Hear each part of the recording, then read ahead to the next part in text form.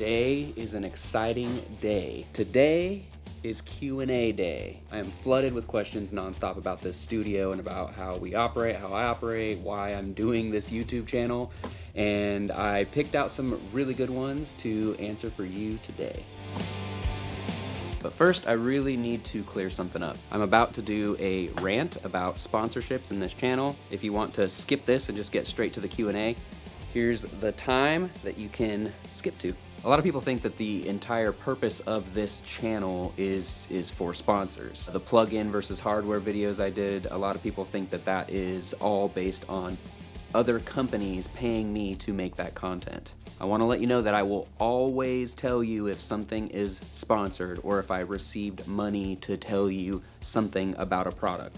To date, since I started this channel, the only sponsorship that I have had is through QuizTones, which is who sponsors this video. And I always say at the beginning of the video that it's my all-time frequency app that I recommend to everybody is because that's actually true. And I remember whenever I used to be an engineer kind of starting out, I was working on cruise ships and we didn't have internet and I was constantly trying to find a way to understand frequencies better.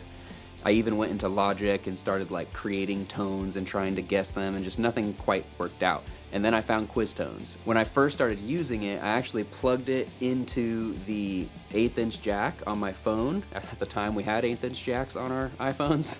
And I had it going through the house system in the theater that I worked at all the time. And that changed my entire life. Just going through frequencies and practicing and listening, that sponsorship of these videos is like my dream sponsorship because number one, it's a product that I believe in. Number two, I've been using it for a long time. And number three, I seriously have recommended that app hundreds of times. Anybody that comes up to me and says, I wanna be an audio engineer, I wanna get better at mixing, I wanna whatever, I always give them this app and say, take this app and just, just every day do a quiz every day like use it and you will get better i promise. And that's kind of my uh, my way of seeing if somebody's serious or not. Because there's a lot of people in this world as i'm sure you know that that, that say that they're serious and say they want to learn. But quiztones is like a perfect tool that will make you better. All you have to do is make that choice and go on there and practice a little bit. And i don't know it's been my way of seeing if an engineer is actually serious about about learning, about growing, about becoming an engineer because it's an essential skill that you just need uh, when you're an engineer. Okay, done with the sponsorships, done with all that stuff. Now let's get to the actual questions that you guys want to know. Let's go to the Q&A couch.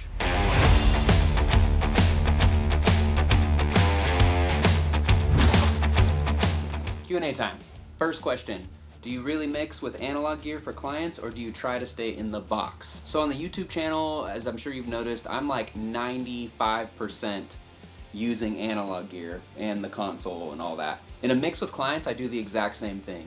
So honestly, there's prop like in a normal mix session, which has like 48 to 72 tracks, I probably use maybe like 15 plugins in the whole session.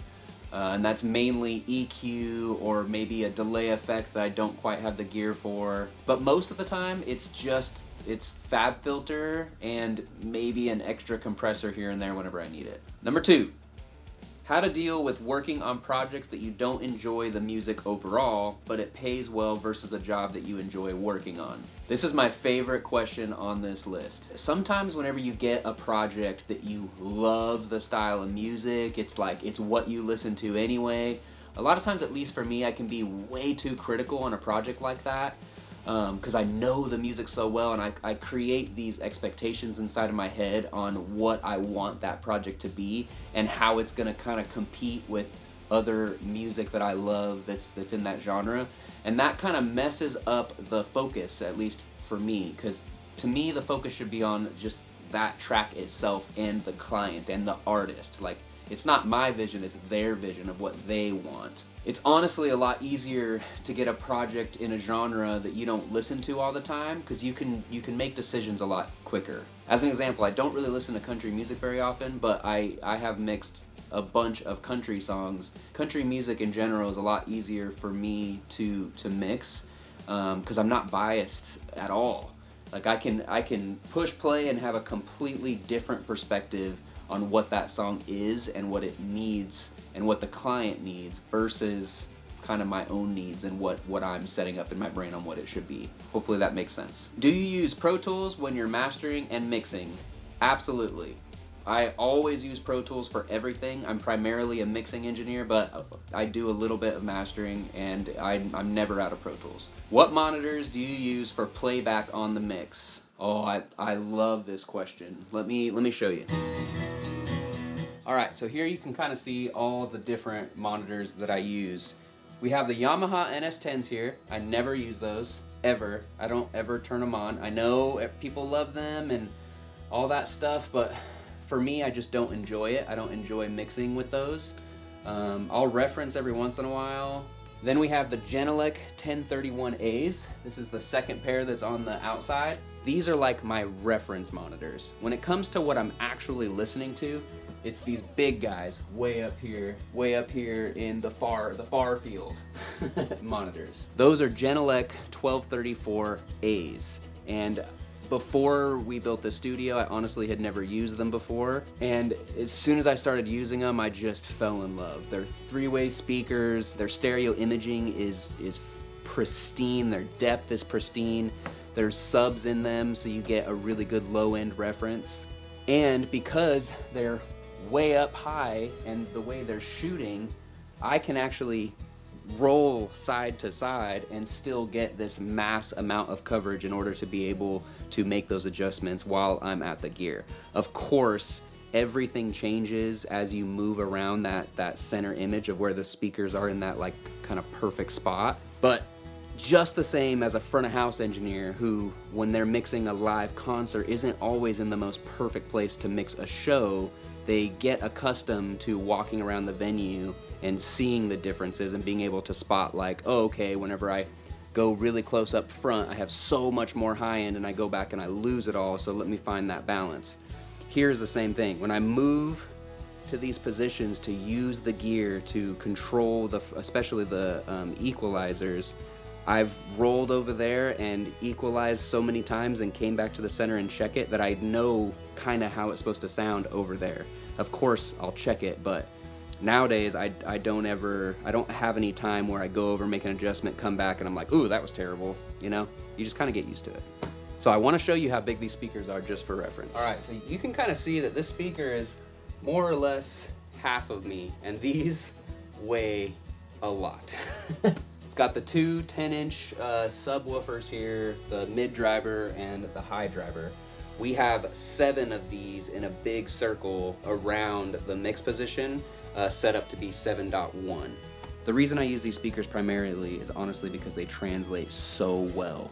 Before I started using these speakers in this room specifically, I used to go out to the car all the time, I would check reference mixes, I'd check on all these different things.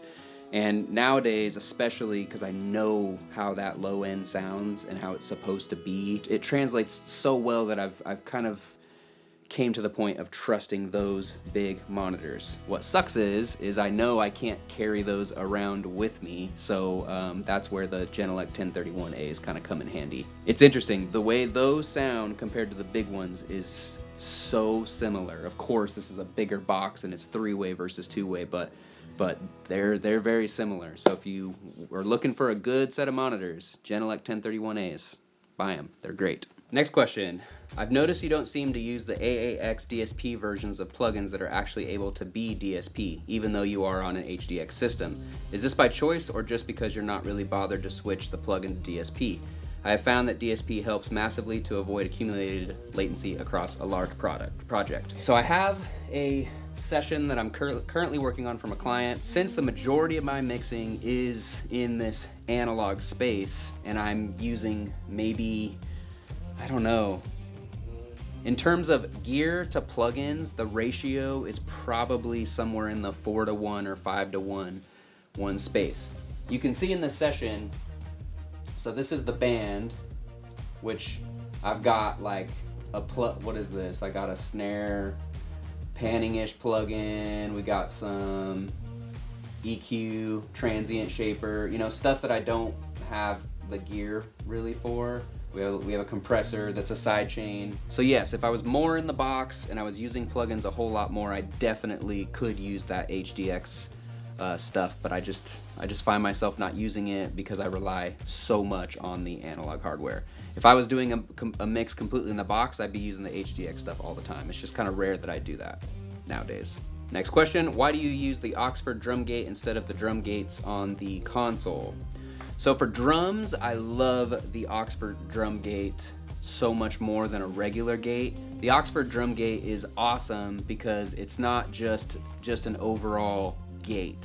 You can set different frequency ranges to have different release times. The console is just kind of like a typical normal gate. I will use them on other instruments, but in terms of drums, I just I just really love the Oxford drum gate. So I always, if I need to gate a drum, I go there instead of using the console. How do you deal with effects when printing them down? All on a stereo channel or individual channels? Okay, so I use a lot of outboard effects whenever I'm mixing on this, this giant console. If I didn't have a 96 channel console, I would probably try to sum down my effects into maybe three or four stereo channels. But I basically use this left wing of the of the console for all my effects.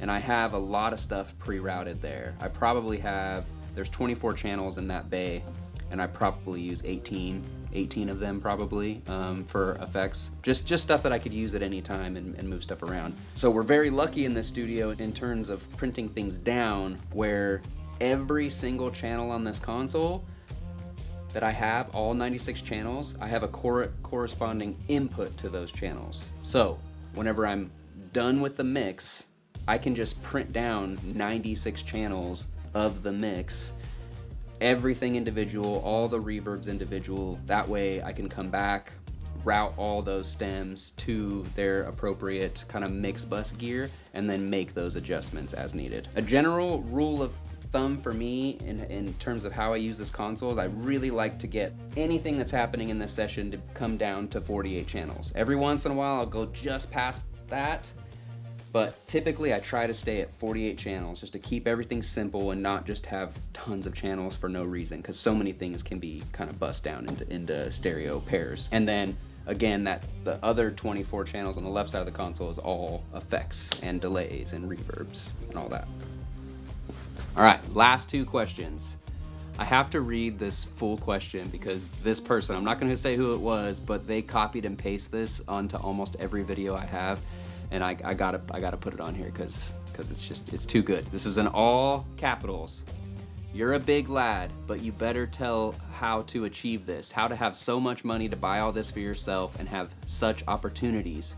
See, in other countries, a lot of equipment, but no one tells how they bought all this. It is very difficult for an ordinary person to buy all this for yourself. Tell us about this. Everyone thinks, for some reason, that I bought, that I personally paid for this entire construction to be done, all the gear, the console, everything to start a YouTube channel and make videos for, for people. What I used to do was I was a freelancer in audio in general. So I did a lot of musicals, I did a lot of studio work, I did a lot of um, like live shows and concerts and festivals and touring, all that stuff. I also have done a lot of installs on cruise ships, uh, taking out brand new cruise ships, venues, churches, theme parks, it kind of just a lot of install work and design work. So this studio has been here since 2007. Well, about two years ago, they wanted to upgrade everything and make it awesome again. So I got hired as a contractor to come in and help with the digital design of the studio and all the rooms and the networking and all the gear and the the Mac computers and Pro Tools and the, and the networking and all, and all that stuff. And then I collaborated with a studio designer named Danny Stone. He's a great guy. He's, he's an analog genius. And he's the one who designed the room, did the acoustics. He picked out most of the gear. We collaborated on some stuff, but he's the reason why these massive, awesome Genelecs are in here and all that. And I kind of came to a place where I sort of I fell in love with this space that we created, and it was kind of like an opportunity that you never get, where it's it's the dream opportunity of of make this awesome, make this studio into something that's unique and that can do anything and that is is up to date as much as possible and, and all that stuff.